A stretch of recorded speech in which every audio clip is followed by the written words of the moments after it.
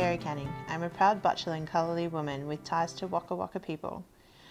I'm the founder, owner, and all round creative force behind Roots and Mirrigal, a Toowoomba based First Nations business that specialises in handcrafted jewellery and accessories.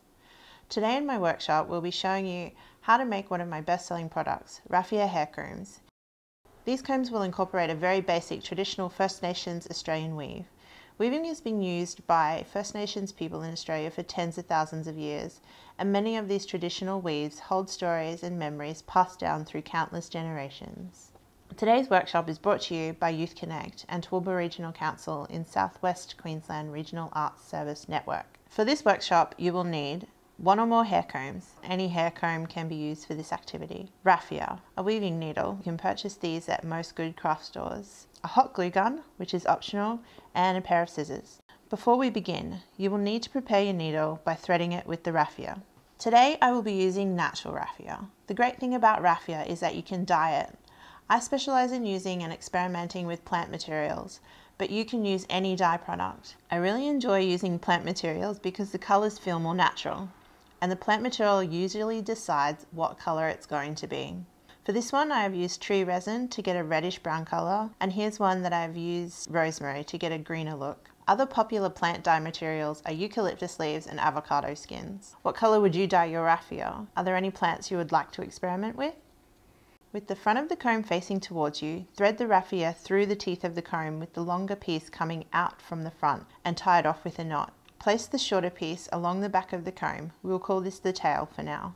Now you're going to make a loop around two fingers, your middle finger and your pointer finger. While holding the comb like this, it can feel uncomfortable and awkward at first, but it will get easier with practice and time. Wrap the raffia around your fingers, moving away from you.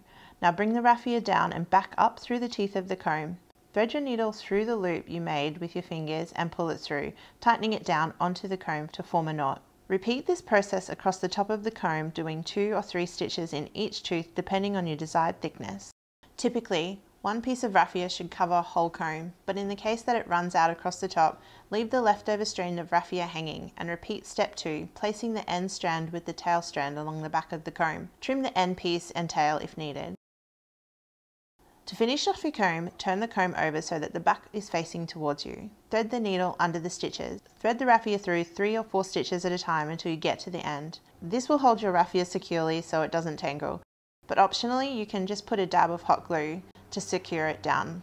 And that's it, you've made your first raffia hair comb using basic traditional First Nations weave. You can customize your comb using different materials. I have used emu feathers, polymer clay beads and seeds. The possibilities are endless. We would really love to see what you make. I'm so excited to see if you use plant dyes and what colours you can create. Be sure to share your creations using the hashtag HomeProjectTR on social media. To find out more about what I do, you can head to Roots and Mirrigal website. You can also find ready-made hair comb kits in our store section of my site.